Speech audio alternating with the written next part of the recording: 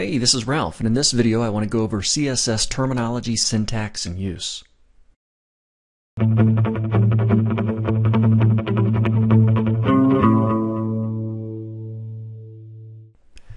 Okay, so you've got a page created, and whenever you start making your web pages, I'm going to want you to focus on the HTML side of things. That's where you set the structure, that's where you put in the content. Now, early on in the process, you might start styling, but really, um, a lot of your styling is going to occur after you get content and the layout in there. And that content, by the way, could be temporary text content to kind of get a feel for how much text is going to be in the page. But we want to start to change the look of this page. And it started years ago when uh, CSS came out in the late 90s. But the whole idea is that we have this separate language that controls the look and the layout of our page, so we no longer have to embed styling characteristics in with the HTML. Now, a few of you might remember um, at one time you could put in elements like the center tag and you could surround content with a set of centering tags. And if I check this out in my browser, you'd be pleasantly surprised at fantastic it centers stuff. Cool that's exactly what I wanted. Um, but this is uh, this element this set of tags here became deprecated or phased out many years ago. Now I know you're thinking man it still seems to be working just fine though. Why not use it? But you want to avoid putting style characteristics mixed in with the HTML. You want to separate style from structure, style from content. And there are many more benefits to separating those things as opposed to the benefits of mixing them all together. So that's where CSS comes into play. In order to use CSS properly, starting off, you really need to know about the uh, terminology and the syntax for CSS. Terminology is not too not too tough, but it is different than HTML.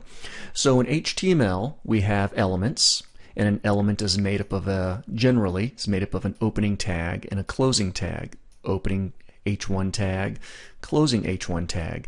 Sometimes in our HTML tags we use attributes, and those attributes contain values. So the terminology for HTML are elements, tags, attributes, and values.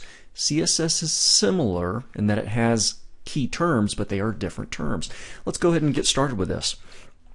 Um, for my first example here, I'm going to include some styling right inside of the head section of the page. This is called using internal styles or embedded styles. Some folks may call it embedded. I tend to say internal styles. Internal styles go in the head section of the page and they go in between an opening and closing style tag. Okay, so in between these two tags are where we uh, is where we're going to put in our style instruction. So the first word you need to know is a rule. Okay, so a CSS rule. In fact, I'm going to do this as a comment. By the way, this is how you do a CSS comment.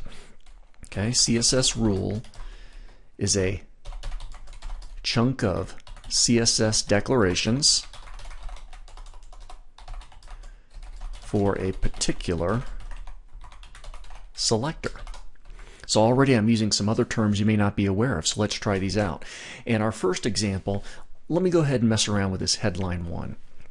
So my CSS rule is made up of multiple things.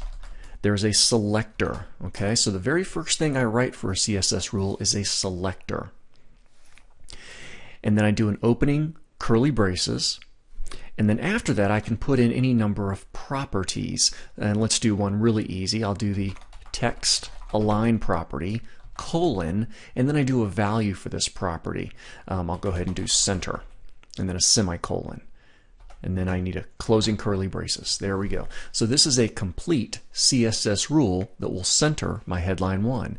Now if I save this, head back over to my browser and refresh, my headline is still centered. Of course, it was centered before from that um, center tag. Let's try a couple more property value combinations. How about um, color? We'll do a medium shade of blue, and let's also change the font. There we go. So I've made a few changes here, and now we can start to see that this headline is clearly different. So now we have a complete CSS rule.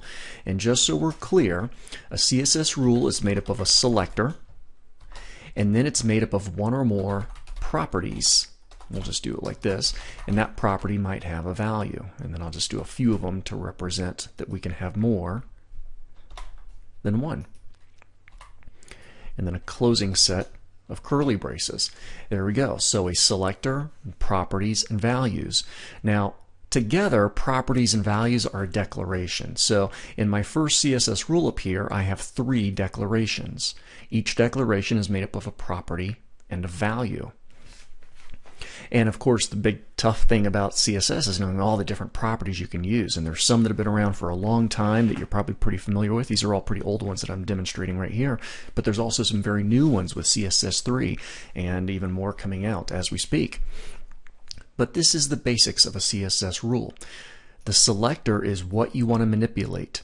The properties are what you want to change about that element. I want to change its text alignment, its color, its font family. And of course, the values for each property indicate what about that property you want to, you know, what you want that property to be. Now, some properties like text align have a very limited number of choices. Left, right, center, um, justify is one of them. Color, of course, has many, many millions of properties because obviously there's a different color code for all the for the 16.7 million colors you can create. So there's a great number of values you can use for the color property. Similar for font family, there's lots of fonts out there.